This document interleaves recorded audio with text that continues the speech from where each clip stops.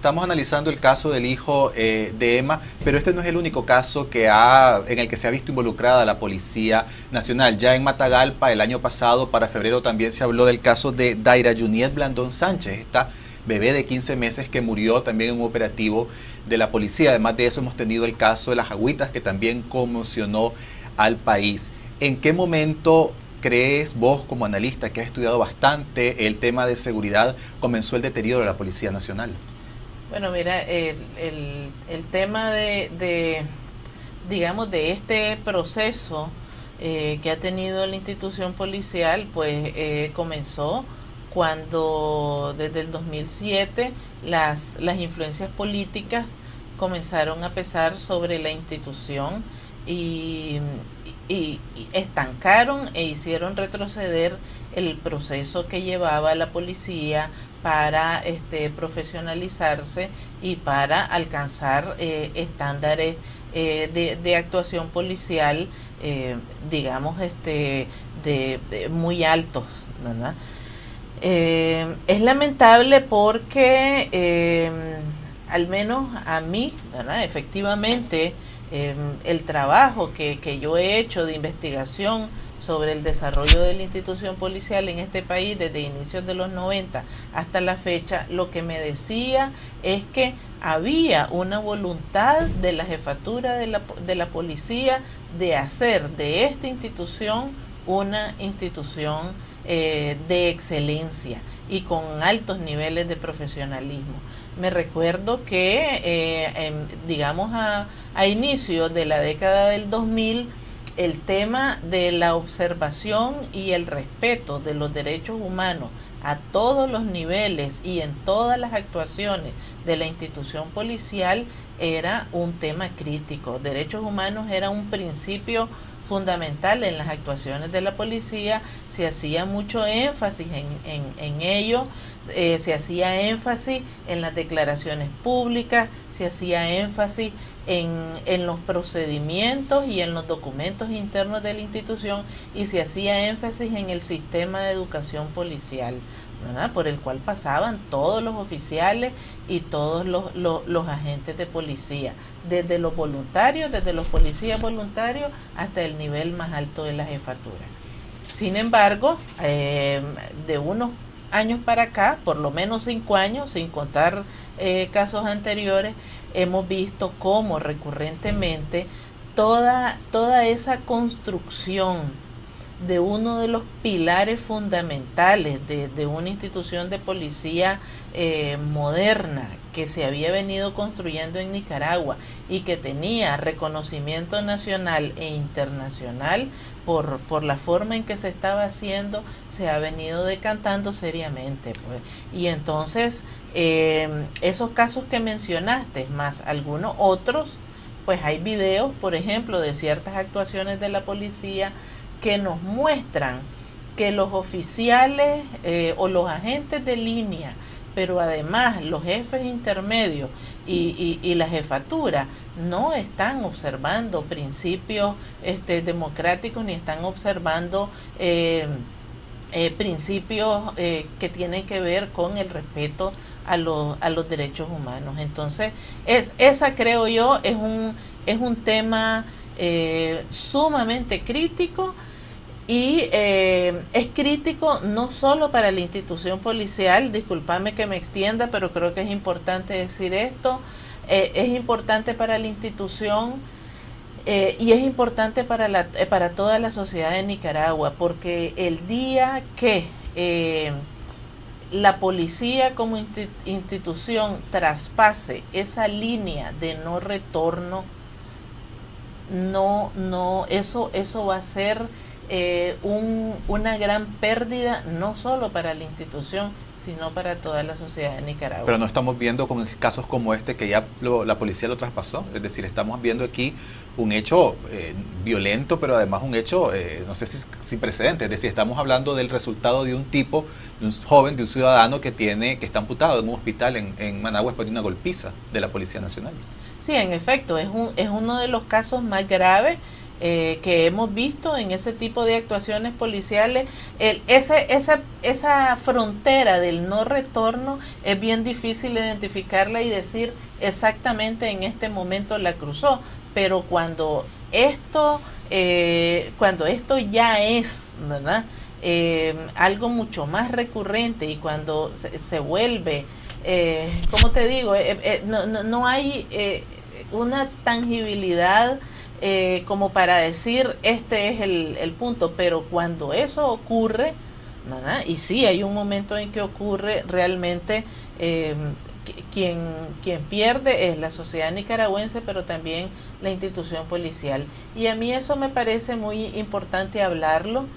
Eh, y es muy importante también este, que, que la policía, la jefatura, pero además todo el cuerpo de policía esté consciente de esto, porque yo recuerdo que a inicios de los 90, cuando eh, la institución policial eh, estuvo muy presionada por los conflictos de la transición política del país, uno de los eh, criterios y argumentos fundamentales para decidir la profesionalización de la institución y el giro que la llevó hasta ser una de las reconocida como una de las mejores instituciones policiales de Centroamérica y de América Latina fue precisamente el tema de preservar la institucionalidad de esa policía y que fuera una policía que respondiera realmente a los intereses de la sociedad nicaragüense.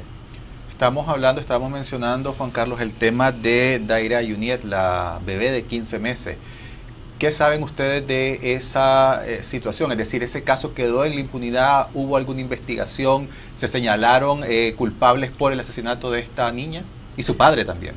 Sí, nosotros interpusimos, eh, acompañando a la mamá de la niña, una denuncia en el Ministerio Público, pero no hubo, no hubo investigación, eh, no conocemos que haya habido sanciones en la policía eh, en relación a los, a los oficiales de policía involucrados. Y esa es la otra parte, porque nosotros en el CENIT recibimos eh, decenas de denuncias en relación a, a graves abusos policiales. invitamos a la gente a que acuda a los mecanismos institucionales que da la policía, es decir, asuntos internos, incluso algunos vienen hasta, hasta Managua, la Inspectoría General. Sin embargo, no conocemos, en los últimos años, no conocemos de sanción alguna contra oficiales de, policía. Es totalmente desconocido. Es un misterio si a lo interno ellos hacen procesos investigativos, aunque no sean conocidos públicamente, y si toman algunas sanciones al respecto. Y en el caso de Daira, ni siquiera hubo un parapeto de investigación, o sea, para calmar a la opinión pública, ni siquiera hubo eso. No se dio nunca una investigación. La postura de la policía fue guardar silencio en relación a ese caso.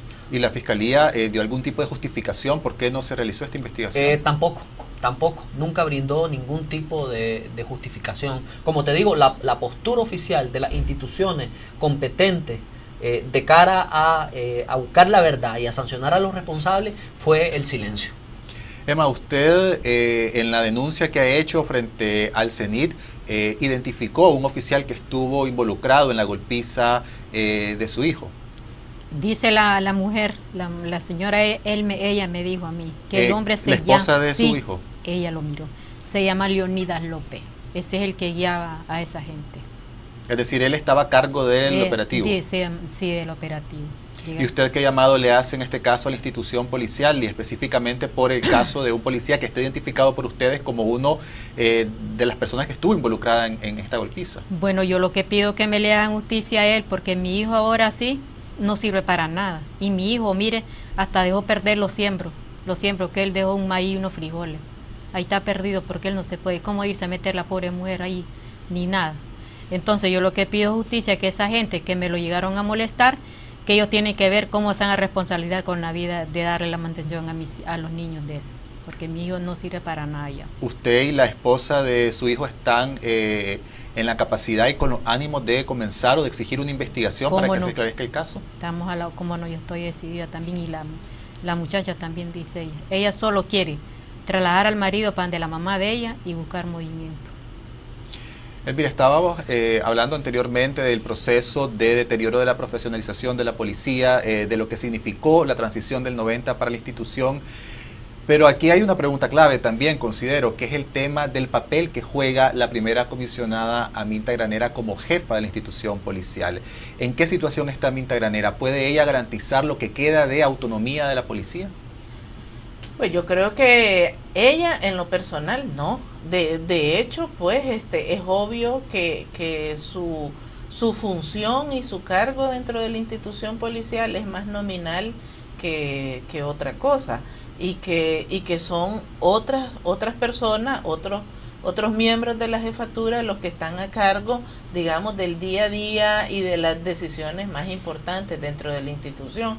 En este caso, pues la figura más este, conocida es el, es el comisionado Francisco Díaz, ¿verdad? Eh, un, una persona que que tiene una larga trayectoria dentro de la institución, que conoce bien todo este proceso porque es uno de los fundadores de la policía y le ha tocado que ver todos estos momentos, ¿verdad? Y que, y que este, pues desafortunadamente eh, en, en, en algún momento se comentó la posibilidad de que, de que la jefatura a cargo de él iba a ser de la policía eh, un, una institución con, un estándar mucho más elevado de profesionalismo, precisamente porque él es fundador de la policía, porque tiene una larga trayectoria y porque tiene formación policial, ¿verdad? Que, es una cosa que no todos los jefes de la institución eh, tienen de la misma manera que él.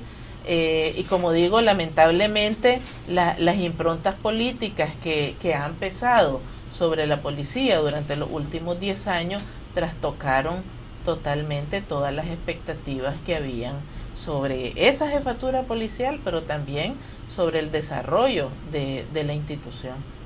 Juan Carlos, todo este tipo de hechos y acciones que empañan la figura de la Policía Nacional y también otras que eh, terminan también dañando la imagen del ejército, que ese es otro tema que también hemos analizado en este programa, de alguna manera forman parte de un, decirlo así, de un folder a nivel internacional de lo que ha sido la eh, violación de los derechos humanos durante el gobierno del presidente Daniel Ortega. Sí, eh, definitivamente ese, ese ha sido una de las marcas, digamos, una de las marcas más nefastas ha sido el deterioro absoluto de la institucionalidad de la policía y del ejército. Eh, nosotros estamos convencidos que no podemos hablar de institucionalidad, de profesionalismo, eh, si no se respetan los derechos humanos de la población. Y aquí la policía pareciera que los derechos humanos dentro de la institución policial ya ni siquiera son de primer orden, sino que es tercera o cuarta categoría nosotros incluso cuando Elvira hablaba sobre los procesos educativos, yo recuerdo que hace años, hace algunos años, nosotros activamente participamos en capacitaciones que incluso la misma policía te solicitaba en materia de derechos humanos. Todavía hace unos 6, 7 años dábamos algunas capacitaciones, recuerdo, a la policía de Matagalpa, a la policía de Jinotega. Luego de eso hubo un momento en que se cerró esa posibilidad y ya nos decían, cuando nosotros le, planteaba, le hacíamos ese planteamiento, de que si necesitaban algún, algún taller sobre derechos humanos nos decían que tenía que ser directamente eh, la solicitud hecha en Managua. Entonces ya se, ya se fueron cerrando los espacios, incluso ya no podíamos acceder a las celdas policiales. En algún momento nosotros accedíamos a las celdas policiales, podíamos ver las condiciones, entrevistarnos, entrevistar a los detenidos ante una denuncia. Sin embargo, todo eso se fue cerrando. Entonces, en la medida que se fue cerrando todos esos espacios, en esa medida también eh, el deterioro de la, de, de la Policía Nacional ha sido más que evidente. Yo quiero finalizar diciendo algo, que el caso, el caso de Juan Rafael, yo creo que lo que marca la diferencia son los resultados. Es decir, nosotros tenemos muchos casos similares documentados en el CENIT, donde personas que son detenidas en horas no hábiles, que son vapuleadas por la Policía Nacional, luego trasladadas a una celda preventiva, incluso eh, estamos hablando de detenciones prolongadas, sin ser presentados a la orden eh, a la orden de un juez, tenemos muchos casos documentados. Claro, en este caso hay un resultado, que es la amputación eh, visible, un resultado visible. La amputación de las piernas de Juan Rafael. Pero tenemos bastantes casos documentados, incluso de personas que tienen un grave estado de salud y la policía se niega a trasladarlo, incluso con sentencias y mandatos judiciales o orientaciones del Instituto de Medicina Legal que, que dice esta persona necesita ser trasladado a un centro de asistencia y la policía se niega. Entonces ya estamos, yo creo que traspasando eh, la línea, pues en relación al patrón de comportamiento de la policía. No hay respeto a los derechos humanos, ni de la persona detenida, ni de los familiares de las víctimas. Lamentablemente se nos acabó el tiempo. Muchas gracias, Emma Maldonado, por estar con nosotros. Juan Carlos Elvira Cuadra. Gracias por ver este video. Si les interesa conocer más sobre el periodismo independiente que realizamos, los invitamos a suscribirse a este canal para recibir todos los reportajes y entrevistas de esta semana, esta noche y confidencial.